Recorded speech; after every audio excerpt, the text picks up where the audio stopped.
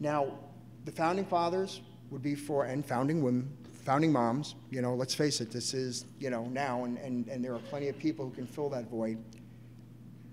We need people that have a far reach. People who can, through their, their television or their radio shows, can reach out to millions of us that can unite us. Because right now, what we have is we have people like, and Dorothy was kind enough to give me a little list here because I told you I'm bad with names. You have Sean Hannity, Laura Ingraham, Mark Levin, uh, Monica Crowley, Rush Limbaugh, Mark uh, or Michelle uh, Malkin, Glenn Beck. Now, a lot of these people have huge egos. I, I mean, look, that's a given. And, and, they're always out there selling a book. They're, they're doing a movie, they're, you know, a film clip or something. They're, they're doing something, they're promoting. But they are conservatives, and they are patriots, and, and I do believe that. So in order for us to do what we have to do, we have to use every resource that's available to us.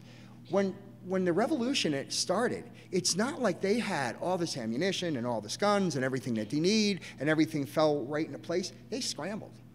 They were, they were grabbing anything they could, whatever they had, whatever they needed to accomplish their mission. And we have to do the same.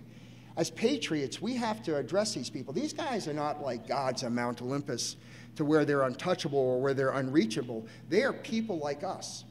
They say they believe in the things we believe in. They preach this to us. God knows they've made enough money off of it because we listen to them. We support their sponsors. We buy their books.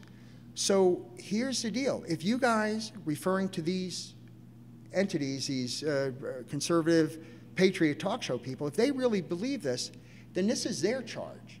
This is what we have to do. We have to do what we can, which is to petition them and to say them through letters, through phone calls. Maybe this will get on, on YouTube, and, and maybe the message will, will get out to them. Maybe it'll get further than just this group here.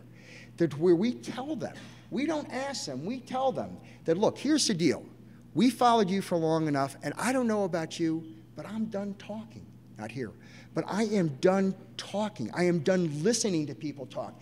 Every one of these talk shows, every one of these um, interviews, uh, you know, they're all we're doing is talking the problem to death. Talking never solved anything. Action solves problems. Actually doing something.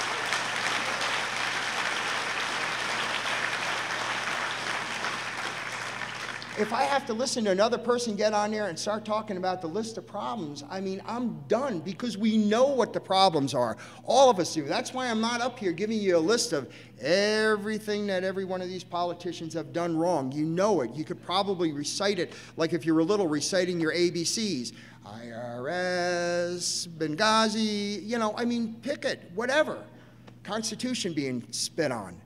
So, yes, we have to petition these people. We have to say to them and, and what they have to do. Because this has been tried, and, and the idea is right. And, and a lot of times people have good ideas and they try it, but they're just underpowered. They don't have enough oomph behind them to do this. We need not a march on Washington, we need an occupation of Washington for three days.